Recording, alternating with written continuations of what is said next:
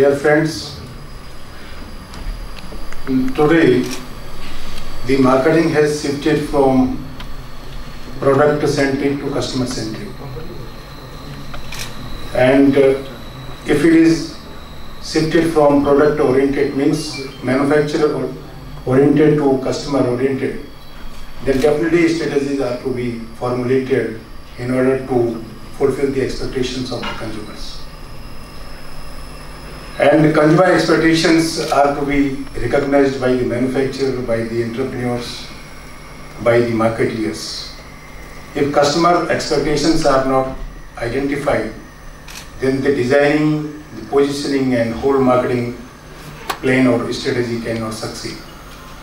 So before moving to develop a plan or moving to develop a product, we need to identify the expectation of the customers. And this identification is based on different parameters which includes demography, psychography, and socio-economic also, which are part of demographic profiles.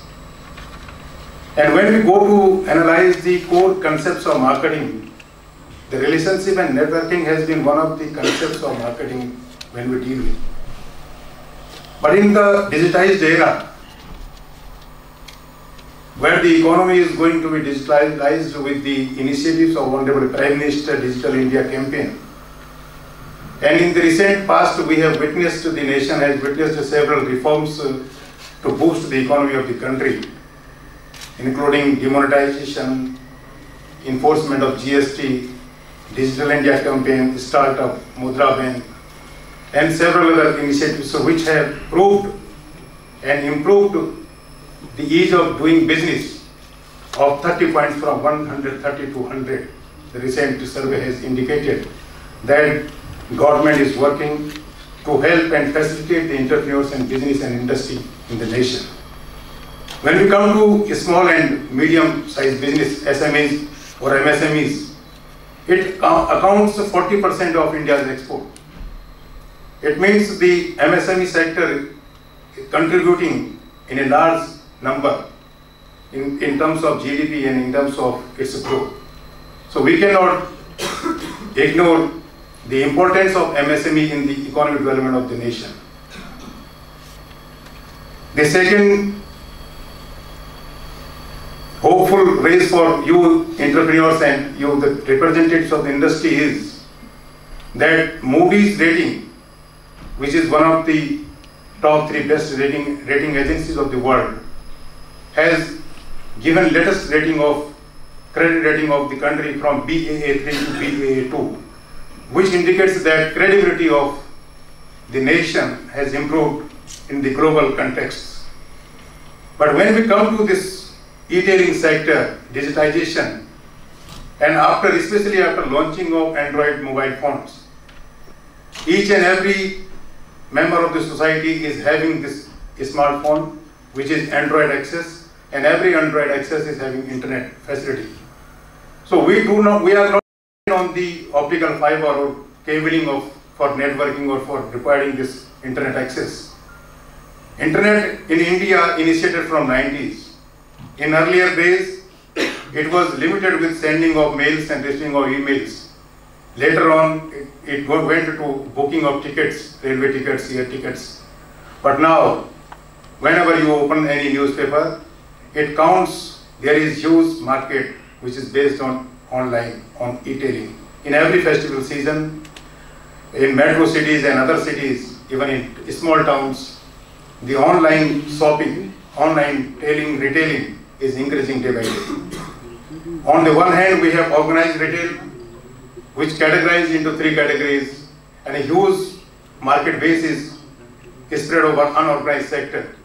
But on the other hand, with the advancement of technology, we are attaining digitized era, the whole market is going to shift to this online. In this online markets concepts, the expectation recognition of customer is quite tough.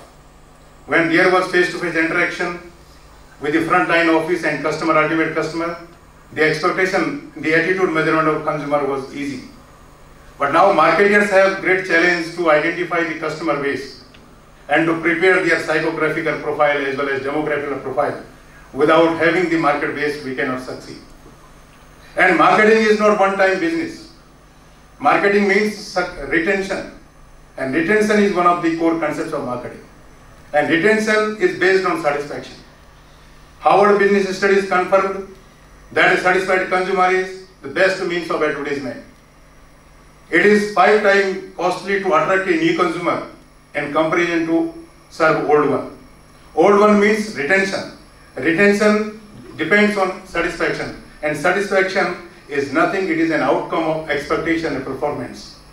What a consumer is expecting from us and what we are delivering, that, that, that, that comparison, that difference is satisfaction or dissatisfaction.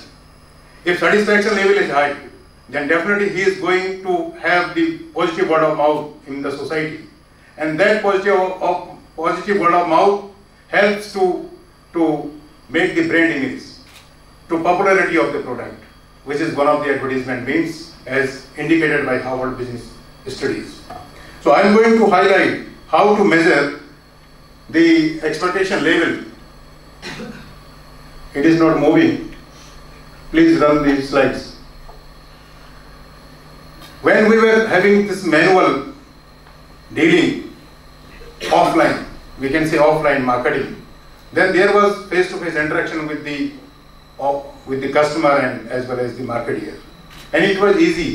There is a, a very popular tool through which we can measure service quality in case of services.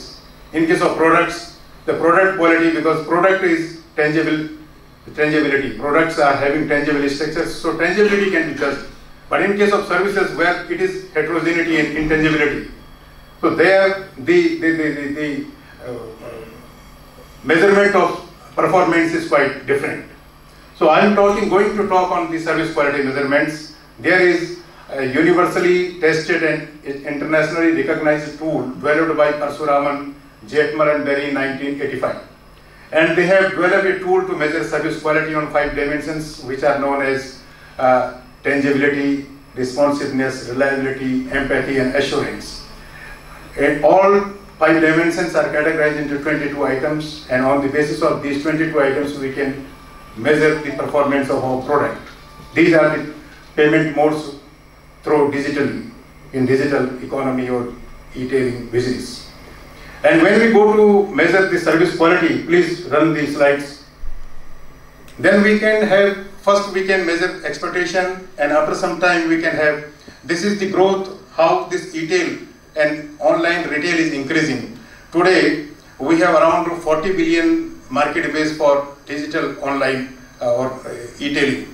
And uh, it is going to have 140 billion by 2020. 2020. Similarly, the percentage of online buyers is around one fourth of the total population, around 25 by 18 by end of the uh, 2018, and it will be again increased and expected to have 36% growth rate by 2020. So these are the data, and uh, also indicated the growth of online retailing in India. My focus is how to measure customer expectation in this digitalized economy and how to ensure satisfaction and retention of the customers in this digitized economy uh, as a new uh, marketing events. Please move the slides. So service quality dimensions uh, developed by Parasuraman indicates for measuring expectation first and after a period of certain period of gap then go for performance with the same target customer and they get which is known as confirmation disconfirmation and this disconfirmation disconfirmation theory again leads to satisfaction and dissatisfaction. But there was a slight change by Cronin and Taylor in 1991 they have suggested directly go for performance evaluation that is known as SERV-PERF and Cronin and Taylor in 1991 developed a new tool to measure service quality performance. They ignored this expectation part because it is quite tough to have this six day, six month or one year gap and to again visit those same target customer which we have recorded as uh, to measure their expectations. So directly they suggested to go for performance evaluation and uh, after that one new model was there which is developed by Brun Bruce Gronroos has categorized Parasuraman model and they suggested that there are two uh, variables, two dimensions. One is functional, another is technical. And all five dimensions suggested by Parasuraman in his team. He uh, categorized into functional uh, dimensions and the technical is someone else. Which the Parasuraman has categorized into tangibility. Tangibility physical or technical, but Gronroos has modified that model. Today, please run this slide. Next. Next. Next. Next. Next. Next. Next. Next. Next. Yes, next. This is the model, which is, this is Bruno's model. Uh, functional quality and technical quality, and then going to service performance, service perceived quality, and then the ultimate satisfaction. The objective of each and every business house is to satisfy their customers. Whosoever is visiting our, our, our organization, we have to retain him for long term. It is not a day or two day business, it is long lasting association. Next. After this Gronroos, next then this is the gap model suggested by Parasuraman. Where is the gap, expectation and performance, then the confirmation and disconfirmation, and ultimately leading to satisfaction and uh, retention. Loyalty. Next. Next. Next. They again, this is Cronin and Taylor model, which which is known as service performance. They ignored expectation part. Next these are the equations how to measure satisfaction level. Next, next, next, next, next, next, next.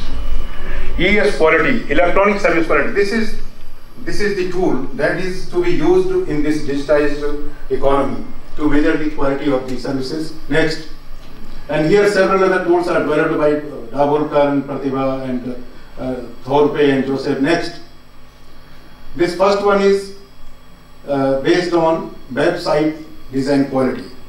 And this tool was developed in 2000 when the economy from internet, from booking of tickets is shifted to the business houses.